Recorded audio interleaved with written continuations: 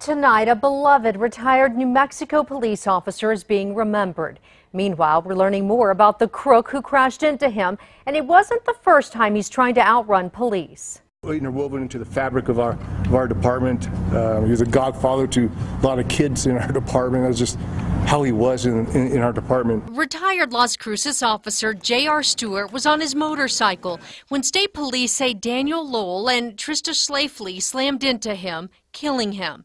The pair was running from cops. It started along I-10 near Las Cruces yesterday when Border Patrol agents at a checkpoint noticed their license plate came up stolen. The two took off driving the wrong way on the interstate. A family with two kids in the car pulled over, worried they were going to get hit. But state police say the crooks went after them, carjacking the family at gunpoint.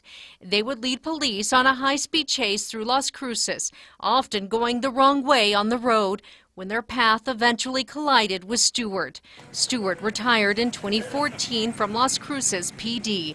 Fellow officers gathered today saying the department will never forget him. You know, I didn't sleep well last night, and I was like everybody else, I was kind of in a fog.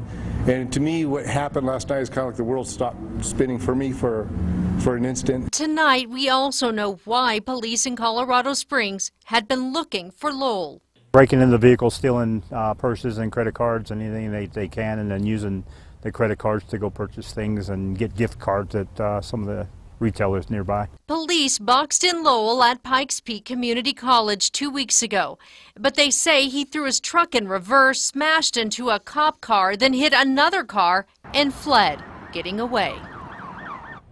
Funeral services for Stewart will be held Saturday. Lowell and Shafley are facing a long list of charges, including homicide by vehicle, child abuse, and armed robbery.